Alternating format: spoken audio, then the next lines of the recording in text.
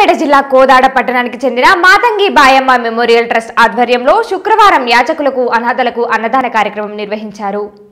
మా ట్రస్ట్ ఆధ్వర్యంలో గతంలో ఎన్నో కార్యక్రమాలు చేయడం జరిగింది. దాన్ని దృష్టిలో పెట్టుకునే వారికి ఈ రోజు అన్నదాన కార్యక్రమాన్ని ఏర్పాటు చేయడం జరిగిందన్నారు. చాలా ఆనందంగా ఉందన్నారు.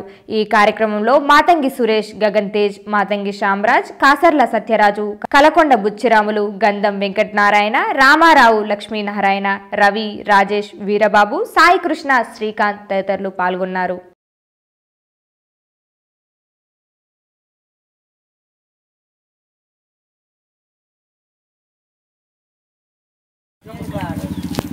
ఇవ్వండి అమ్మా మీరు టేస్ట్ పై ఇవ్వండి ఏం కాదు. వాళ్ళకి ఇవ్వండి taste.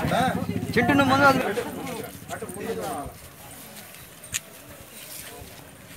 వెళ్ళండి అమ్మా తీసుకున్న వాళ్ళు వెళ్ళండి నిలబడకూడదు.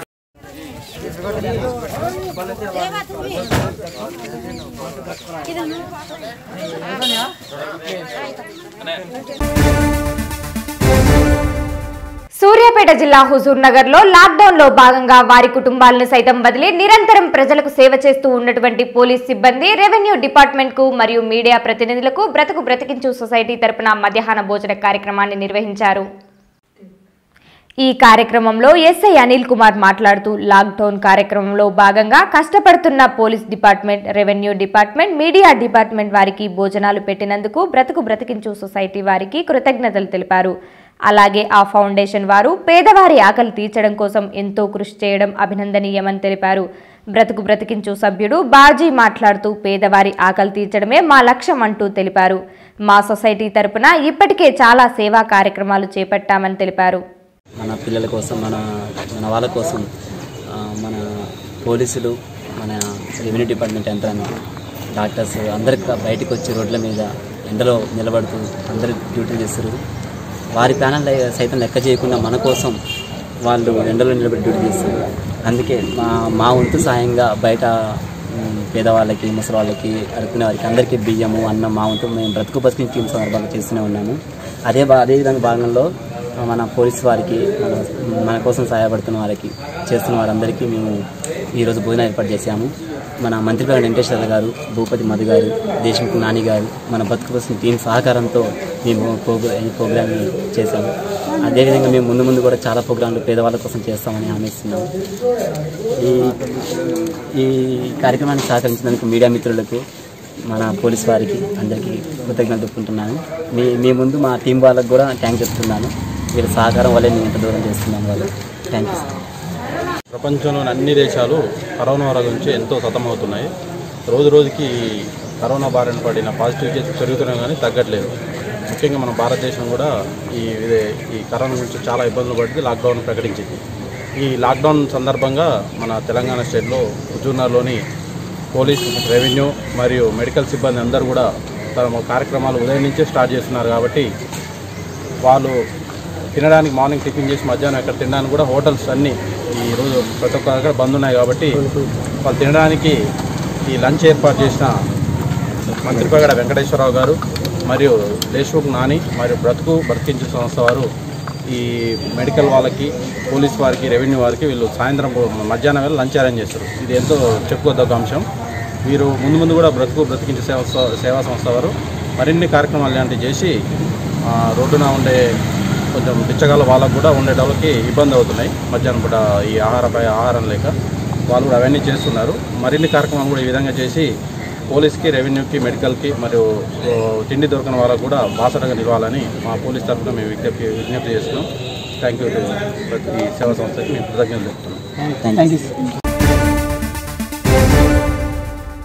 యాదాద్రి భువనగిరి జిల్లా రాజాపేట మండలంలోని బొందుగుల గ్రామంలో ముక్కా జీవన్ కుమార్ సర్వే నెంబర్ ఆరు వందల ఇరవై తొమ్మిది ఆరు వందల డెబ్బై ఆరు వర్షాధార పంట అయిన నీలగిరి తోట గుర్తు తెలియని వ్యక్తులు నిప్పంటించారు.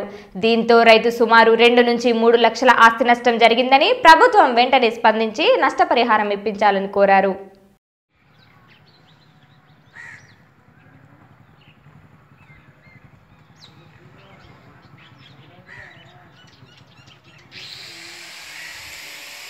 కష్టపడి సాగు చేసుకున్న సార్ భూమి ఇది దగ్గర దగ్గర రెండు మూడు లక్షల రూపాయలు విలువ చేసే చెట్లు మొత్తం నాశనం అయిపోయినాయి సార్. ఇక్కడ చూసుకున్నట్టయితే మీకు పక్కన చూసినట్టయితే పక్కన వాళ్ళది ఏమీ డ్యామేజ్ జరగలేదు. ఇక్కడ పోతే దాంతోపాటుగా ఇక్కడ చూసినట్టయితే మాది పరిధి ఎంతవరకు ఉందో అంతవరకే కాలిపోయి ఉన్నాయి సార్. పక్కన వాళ్ళది కూడా ఏం కాలినట్టుగా మీకు ఏం కనిపించట్లేదు. పని కట్టుకొని ఇది ఎవరో గిడ్డని వారు చేసినటువంటి పని సార్ ఇది. కావాలని చేసారు సార్ ఇది. నేను ఇంత కష్టపడి ఇంత పెద్ద తోట పెట్టుకున్నాక కూడా ఇంత పెద్ద క్రాప్ నాశనం అయిపోయింది సార్. దయచేసి మీ ద్వారా మీడియా ద్వారా మీ ద్వారా ఏదైనా ఆర్థిక సాయం చేయగలరని కోరుకుంటున్నాం సార్. చాలా బాధతో ఉన్నాం సార్. మేము ఇంత చిన్న పిల్లల్లాగా చిన్న చిన్న మొక్కలు తెచ్చుకొని మేము పెట్టుకున్నాం సార్ ఇవి. వర్షాలు సరిగా లేకపోతే ట్యాంకర్ ద్వారా వాటర్ తెచ్చుకొని మేము ఇల్లు తెచ్చి పోసుకొని ఒక్కొక్క ట్యాంకర్ పద్దెనిమిది వందల రూపాయలు పెట్టుకొని ట్యాంకర్ కొనుక్కొచ్చుకొని మేము చిన్న మొక్కలను ఆదుకున్నాం సార్. ఇంత పెద్దగా అయిన తర్వాత కావాల్సుకొని గిట్టని వారు ఎవరో చుట్టుపక్కల ప్రాంత రైతులు కానీ ఎవరైతే ఉన్నారో వాళ్ళు కావాల్సుకొని చేసినట్టు కానీ ఇక్కడ మనకు స్పష్టంగా కనిపిస్తున్నాయి సార్. ఇంకా మీ ద్వారా మీడియా ద్వారా ఏదైనా సహాయ సహకారాలు అందించాలని కోరుకుంటున్నాం సార్. మేము గతి లేని వాళ్ళం సారు పూటకు లేని వాళ్ళం అప్పులు తెచ్చి పెట్టినాం సారు మీ కాలు మొత్తం మీ బాంచాను సారు. మాకేంటి సాయం చేయండి సారు కాలు మొత్తం బాంచాను. ఈ తోటతోటి చాలా అప్పుల పాలైనాం సారు మీ కాలు మొత్తం బాంచాను. అప్పులు తెచ్చి పెట్టుకున్నాం సారు కాలు మొత్తం బాంచాను తోట మినంకిస్తామని ఎంతో శ్రమపడి బాధపడి కష్టాల పాలైనాం సారు ఈ తోటతోటి. పంట పూర్తిగా కూడా ధ్వంసం అయిపోయింది సార్. మొత్తం నాశనం అయిపోయింది ఎందుకు పనికిరాదు? వర్షాలు వచ్చినా కూడా ఎందుకు పనికి రాకుండా అయిపోయింది? మొత్తం మీరు చూసినట్టయితే మొత్తం కూడా కాలిపోయినది. ఎందుకు పనికిరాకుండా అయిపోయింది విషయం ఇది. ఈ తోట ఎంత విలువ ఉంటుంది? సార్ ఇది దగ్గర దగ్గర వచ్చేసి ఒక త్రీ ఫోర్ ల్యాక్స్ వరకు ఉంటుంది సార్ క్రాప్ అది. మీరు చూసుకున్నట్టయితే సార్ ఇక్కడ చూడండి వాళ్ళ బార్డర్ ఎంత వరకు ఉందో అంతవరకే పోయింది. కానీ పక్కన వాళ్ళది ఏమాత్రం ధ్వంసం కాకుండా మా వరకే కావాల్సుకొని పని పెట్టుకొని నిప్పు పెట్టినటువంటి సందర్భం మీరు చూస్తున్నారు సార్. ఇది బార్డర్ కరెక్ట్గా ఇదేదో పని కట్టుకొని చేసినట్టుగా ఈ ఏరియా వరకే ధ్వంసం అయిపోయింది అది విషయం సార్.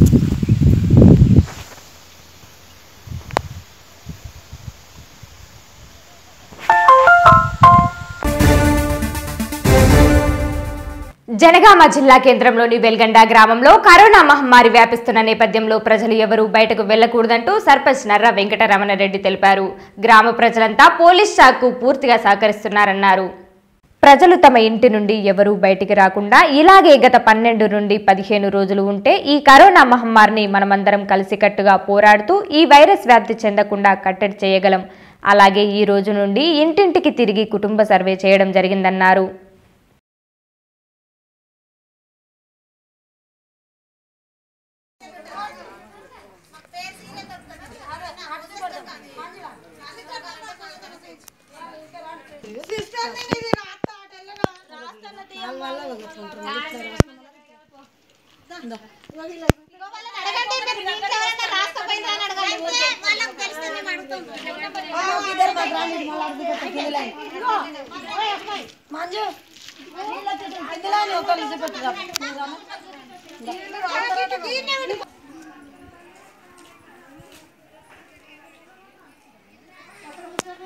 చేసే వాళ్ళనే చేపిస్తున్నారు రాని వాళ్ళు మేము రామని అడుగు ముందుకేస్తలేరు ఎవరు వస్తలేరు అంటారు కానీ ఎప్పుడు ఇప్పుడు కాదండి చూస్తున్నారు వేరే వాళ్ళు అట్లా ఆలోచిస్తారు తీసుకొని రండి అమ్మ ఎవరికెవరికి మాస్క్ క్యాప్స్ ఎందుకు చెప్పు? మీరు ఎవరు కుట్టుకుంటున్నారు? ఎవరు కుట్టుకుంటున్నారు చెప్పండి?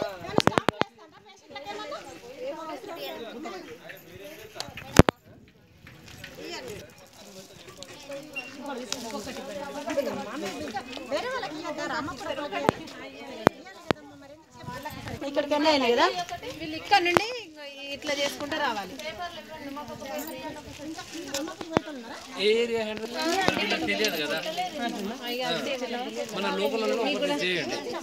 అయితే ఈమెకు ఒక న్యూ పర్సన్ లింగాల పర్సన్. అదే అక్కడ వరకు చేసినాము. వీళ్ళు వీళ్ళు స్టార్ట్. నమస్కారం. ఈ కరోనా వైరస్ మొన్న ఢిల్లీ నుంచి వచ్చిన కాజామియతోటి మనకు ఊళ్ళే సమస్య ఏర్పడ్డది. అతనికి పాజిటివ్ ఏర్పడ్డది. సరే ఆయన తీసుకుపోయిండు గాంధీ హాస్పిటల్ వేసిండు వాళ్ళ పిల్లలు కూడా తీసుకుపోయిండు వాళ్ళు కూడా టెస్టులు జరుగుతున్నాయి. ఆ విధంగానే మన గ్రామం నుంచి వెళ్ళి ఇంకా డెబ్బై మందిని మనం జనగాం తరలించడం జరిగింది. వాళ్ళు కూడా అందరు బాగుండాలనే అందరు కష్టపడుతున్నాం. హెల్త్ డిపార్ట్మెంట్ కానీ పోలీస్ డిపార్ట్మెంట్ అయితే విస్తృతంగా కష్టపడుతుండ్రు. Sanitary department. ముఖ్యంగా మా గ్రామ పంచాయతీ పాలక వర్గం ఆ వార్డు మెంబర్లంతా నిన్న శానిటరీలో పూర్తిగా కష్టపడి ఊరంతా ప్లే చేయడం జరిగింది. దినం తప్పి దినం అంటే ఈరోజు చేసిన శానిటరీ రేపు కూడా చేస్తాం. ఎవరేం భయపడొద్దు. మనకు వచ్చిందనే భయమే ఇంకెక్కువ ఉంటుంది భయమే అవసరం లేదు. అంటే ఎవరికైనా మనం ముందుండి రేపు కూడా అందరం కలిసికట్టుగా ఆ మహమ్మారి వ్యాధిని ఎదుర్కొందాం. దయచేసి గ్రామంలో ఎవరు బయటికి రాకండి. అత్యవసర పని ఉంటేనే బయటికి రాండి తప్ప మీరు వచ్చి ఇబ్బంది పడకండి మమ్మల్ని ఇబ్బంది పెట్టకండి మీ ఇబ్బందే మా ఇబ్బంది. అందరూ బాగుండాలంటే మనం ఈ వైరస్ను తట్టుకోవాలంటే అందరం కలిసికట్టు ఉండి చేస్తేనే అవుతుంది ఇది. శానిట గత పదిహేను రోజుల నుంచి ఇబ్బందులు పడుతున్నాం. కానీ ఆ ఇబ్బందిని ఎదుర్కొంటేనే మనం ఇంకొక పదిహేను రోజులు కష్టపడితేనే మనం అందరం ఉంటాం ఇబ్బంది లేకుండా. కాబట్టి ప్రజలందరికీ మరొకసారి వార్డు మెంబర్లందరినీ ఇప్పుడు వార్డు మెంబర్లంతా నేను శానిటరీలో పాల్గొని మొత్తం వాళ్ళే శానిటరీ కొట్టిరు మొత్తం ఈ ఊరు ఊరికి వాడవాడకు ఇల్లు కలిసి కొట్టడం జరిగింది. అది ఇట్లే మేము ఇంకా పదిహేను ఇరవై రోజులు కూడా ఇట్లే కొడతాం దినం దినం తప్పి దినం. బ్లీచింగ్ కూడా తెప్పించుకున్నాం ఇబ్బంది లేదు మనకు. మనం బయోటిక్ స్ప్రే కూడా చేయడం జరిగింది సిబ్బందితోటి ఇంకా ఏదైనా ఎదుర్కోవడానికి సిద్ధంగా ఉన్నాం. ముందు మనం బయటికి వెళ్ళొద్దు. దయచేసి గ్రామంలో ప్రజలు ఎవరు బయటికి వెళ్ళొద్దని మరొకసారి మీ అందరికి విజ్ఞప్తి చేస్తూ చిరస్సు వంచి చెప్తున్నా. దయచేసి గ్రామంలో బయటికి యువకులు ఎవరే రావద్దు. ఇంకా డెబ్బై మంది కాదు ఇంకా డెబ్బై మందికైనా టెస్టులు చేయడానికి గవర్నమెంట్ ముందుంది కాబట్టి స్వచ్ఛందంగా ఇప్పుడు మనకి అనుమానం ఎవరో రమ్మంటారు మనం పోయి చేసుకోవాలనేది కాదు ఇక్కడ. మనకు అనుమానం వస్తే మనమే పోవాలి స్వచ్ఛందంగా. పోయి చేసుకుంటేనే అందరం ఆరోగ్యకరంగా ఉంటాం ఆరోగ్య వాతావరణం ఏర్పాటు చేసుకుంటాం. మెడికల్ మెడికల్ సిబ్బందికి వచ్చి వాళ్ళు కష్టపడుతున్నారు సర్వే కూడా చేస్తున్నారు వాళ్ళకి కృతజ్ఞతలు ఆశా వర్కర్ల కృతజ్ఞతలు. అంగన్వాడీ కృతజ్ఞతలు. ముఖ్యంగా పోలీసు ఎస్ఐ నుంచి ముందు పెట్టి ముందు స్టార్ట్ చేస్తే డీసీపీ గారికి కూడా అందరూ కష్టపడి సహకరిస్తున్నారు వాళ్ళకైతే ముఖ్యంగా కృతజ్ఞత తెలియజేసుకుంటున్నాం. యూత్ పిల్లలు కూడా చాలా ముందుకొచ్చిండ్రు మొన్న. హార్డ్ వర్క్ చేస్తుండ్రు. ప్రతి నాలుగు ఐదు సెంటర్లు పెట్టి వాళ్ళు కూడా కష్టపడుతుండ్రు. యూత్ పిల్లలకు ప్రత్యేకమైన కృతజ్ఞతలు.